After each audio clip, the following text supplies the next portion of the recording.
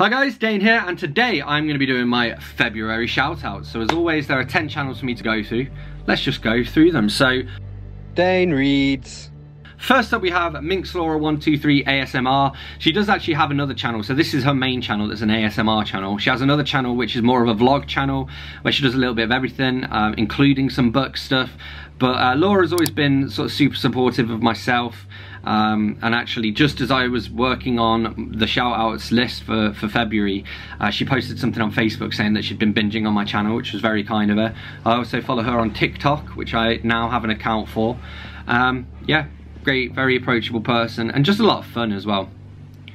Then we have John Warner. So uh, John hasn't actually uploaded for a while, but he, he has here and there in the past.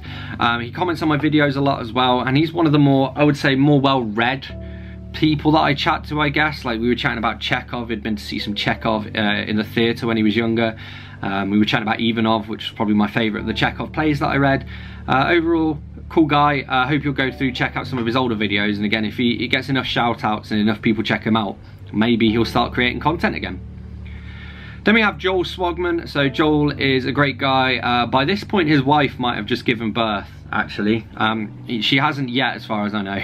Um, but we're doing a buddy read together of the Wizard of Oz series, and we're doing a book every two weeks. And so he did mention that in sort of January time-ish, um, he might have to put it on, on a pause for a while or catch up afterwards if his, if his wife does go into labour, which she presumably will do at some point.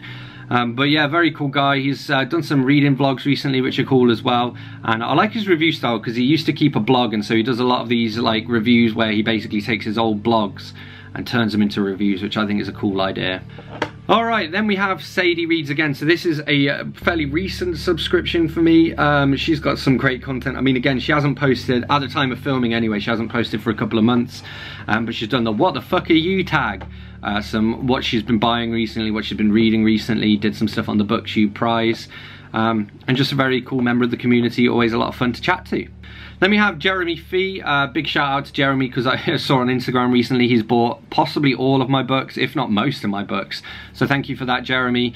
Uh, he's got a great little channel, reads a little bit of everything. Uh, you rarely see his face, uh, although you can in the, I think it was in Local Haunts anthology because he's also a writer.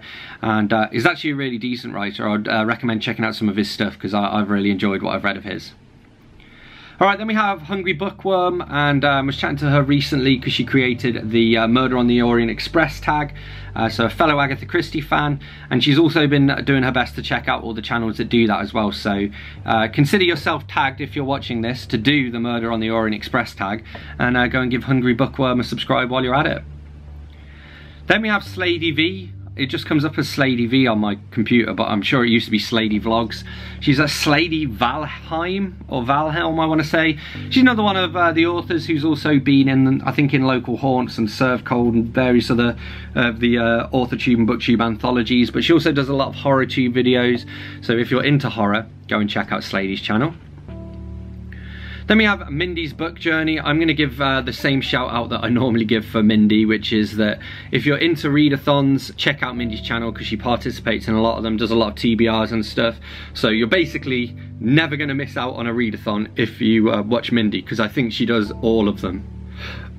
I don't know how she finds the time or energy, to be honest. All right, then we have Abraham Woodrum. Uh, he used to, oh, he's had various channel names throughout the years. A lot of his stuff now is actually short form video, which is great if you're looking for someone you can just dip in and out of. But he reads a lot of cool stuff as well. He's a really approachable guy, has some uh, interesting takes on different things. Um, so he's not just booktube, although he does do uh, booktube videos as well, but he's been kind of diversifying recently. Overall, just a good channel. Go check him out. And finally we have Brandon's Bookshelf. So another recently new channel that I've discovered. Uh, let's see what the recent videos are. Fab 4 Book Tag, uh, top books of 2021, some stats, which is always good. Um, some like collab videos, Planet Walker by John Francis, Kindness of Strangers, Are You Truly Free? So a lot of non-fiction there. Um, and yeah, just again, another channel that I'm looking forward to checking out more videos by. So there we have it, those are 10 channels that I recommend for February 2021. As always, don't forget to let me know in the comments. If you watch any of these channels, let me know some of the channels you think I should check out as well. Hit that like button if you've enjoyed this video, hit the subscribe button both on my channel and on any of these channels that you would like to hear more from. And I will see you soon for another bookish video. Thanks a lot. Bye-bye.